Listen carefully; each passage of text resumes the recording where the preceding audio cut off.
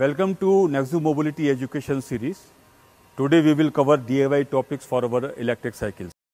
In this video, we will explain about throttle wires voltage and how to check it. Top-down cycle for ease of working. You will see that motor cable is tightened with two cable ties. Cut these cable ties with cutter and open the two screws with 4 mm Allen key on both sides. Remove the cover. Take out wiring couplers outside gently. You can identify throttle wires coupler by picking up this black coupler which has 3 pins. From throttle side, 3 wires are black, white and red. And from controller side, wires color are black, red and blue. Now we will see how to check voltage. Controller provide 5 volt supply to throttle.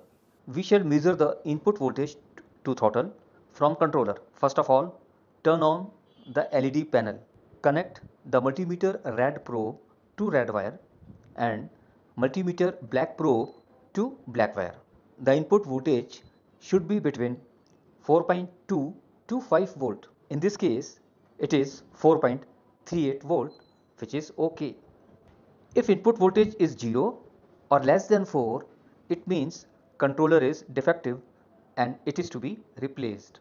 Now to measure output voltage of throttle, connect multimeter red probe to throttle side white wire and black probe to black wire.